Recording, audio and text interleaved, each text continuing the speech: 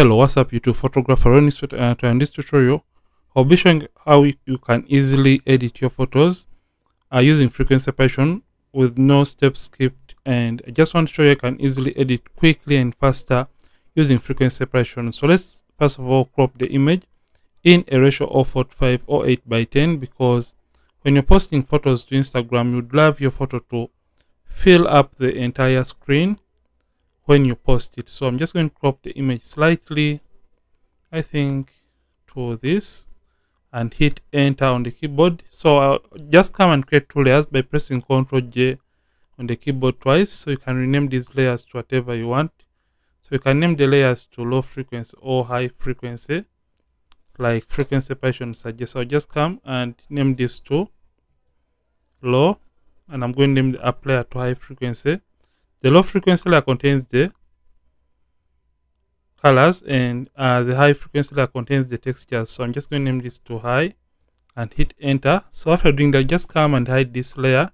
Select the low frequency layer and now come to filter, blur and come to Gaussian blur. Take radius down, look for an area that has textures or more textures and blur out those textures. So you have you stop at the point whereby the textures are just starting to disappear from the image. So I think at around 5, that is when I'm just starting to lose out on the textures on the skin. And click OK, select this layer now, activate it. And after activating it, just come to image, come to apply image, and select the low frequency layer. Now just come and change the blend mode to add. Since this is a 16-bit image, scale is to offset 0 and simply turn on the invert option and click OK. Change the blend mode from normal to linear light right here and put this to in a group by selecting both layers and using command. Then press Ctrl G or you can use Command G and hide the high frequency layer. And after hiding it, come and select the low frequency layer. You're now going to come and select the mixer brush tool. Then just come and use hardness 0. Clean brush is selected then the option that says clean the brush after each and every stroke has been selected right here. With the weight of 9%, load 75, mix at 90 and the flow of 100%, make sure sample order is not turned on. So with the mixer brush tool basically selected, we just want to blend or even out the skin tone transitions of the model's face.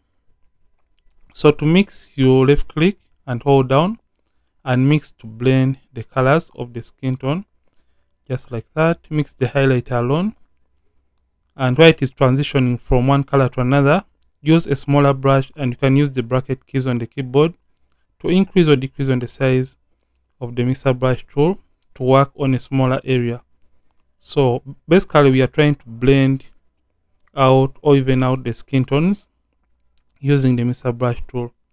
So mix colors that are looking alike just like that and mix the highlight alone to create just that nice and smooth transition between the skin tones of uh, the model. So that is basically what we are doing using the mixer brush tool. So I'm mixing just like that. And by just doing that is going to smoothen out or even out the skin tone transitions and get us a nicely retouched or even evenly skin toned image. So I think that is okay. Mix on the chain and so when you turn this on you can see what we have right now. So this is a before after before after. So let's continue working on the image.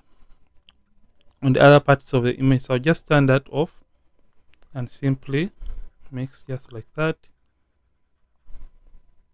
Mix this highlight alone and mix every area that contains or has skin to create a nice and smooth transition between the skin. So just like that. And you can see what we have right now. Reduce on the size and work on this small area and blend the colors on the neck area. And just like that you are going to be able to have the best results from your editing process and your frequency separation in general. So mix every area that has or contains skin tones for better results. So I'm just going to mix this area, the collarbone, and by just doing that, you can see what we have right now. So increase on the size and you work on a different area. I think this is okay and perfect. So when you turn on the texture you can see what we have been able to edit before after before after. So select this high frequency and now come and get the clone stamp tool and make sure the settings the hardness is set to zero and soft round brush is selected. Opacity at 100% flat 100% make sure the sample is set to current layer. And after doing that just simply zoom into the image. So to remove this kind of blemish or pimple hold down the option key on the keyboard. If at all you're using mac then if at all you're using windows hold down the alternate key on the keyboard and left click on an area near the pimple or blemish that you want to remove and left click over the blemish to clean it up or remove it from that area. So for a line you copy and drag over that line to uh, get rid of it. So by just doing this you're going to be having the best results out of uh, your retouching process. And this is how you can easily edit simply using frequency separation as a skin retouching technique so if at all you'd love an in-depth video that is beginner friendly i have a couple of longer videos on this channel that are going to help you understand frequency separation better in Photoshop. So just going to zoom out. So you can see this is the image before, after, before, after. So what would love to do if at all you want to do further editing or color grading, you can proceed with that by evening out the skin tones of a model if at all you feel like the skin tones are not even enough. So you're just going to come to the adjustments here and simply come and select our lovely gradient map tool and select the gradient icon and hide the gradient layer. So make sure the icon is selected. Simply left click on the properties to open up the gradient editor. Then left click on the this pointer and it is going to set the location to zero. And left click on the color picker tool. Make sure the sample is set 5 by 5 average.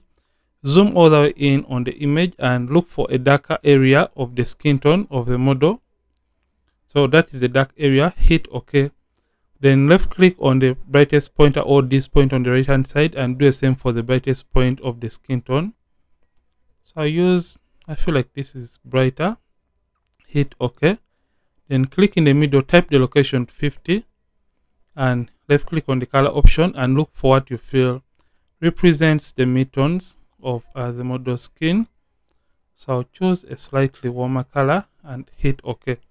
Then click OK and now activate the layer and after activating it simply come and change the blend mode from normal and change it to color and after doing that we just want to apply the effect on only the model skin so what we're going to do we're just going to simply first of all hide this layer then come back to this group layer and create a stamp visible layer so press shift option command E for Mac. Then for Windows, it is shift alternate control E to create a stamp visible layer. Now you can simply duplicate it.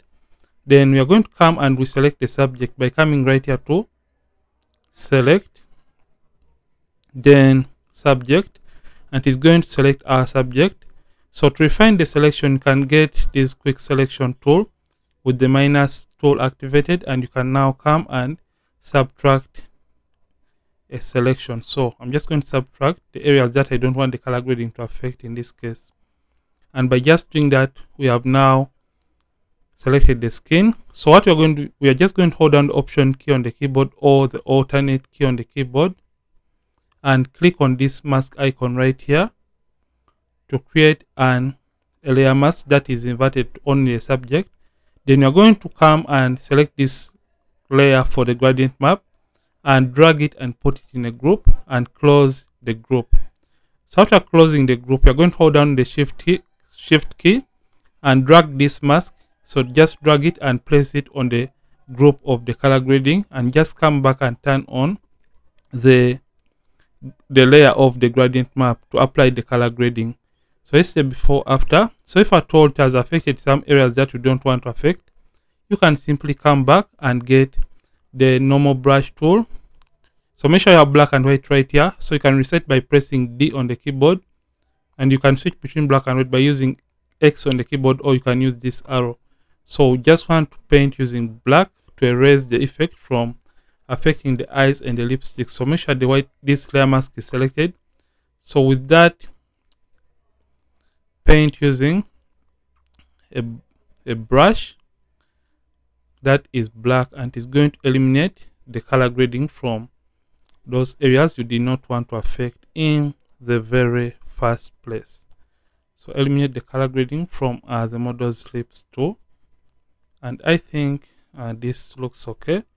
You can even use a smaller brush to eliminate the colors from uh, the model's eyeshadow or even this part of the head wrap. So after masking out from uh, those areas I'm just going to mask this a little bit and take it from the head wrap once again so right now we are done evening out the skin tone but it is a little bit too much. So just come the opacity right here and reduce on the opacity to your liking or to your taste as a person editing or retouching. So basically this is the before after before after. And this is how you can easily edit a photo in photoshop from the very start to the very end in the shortest time possible. And if at all you are done simply save the photo so it doesn't change in color. So just come to file export export as then simply change the quality to the maximum. The format has to be jpeg. Resample to bicubic sharp and make sure you check these two options. Convert srgb also embed color profile and hit export to export the photo. So this is it for this video. And if at all you have enjoyed this simply like this video. And don't forget to subscribe if at all you're watching and you're not subscribed to this channel Ronnix from Ronnix photography. Thank you for watching and seeing yet more videos on this channel. Don't forget keep practicing and also keep creating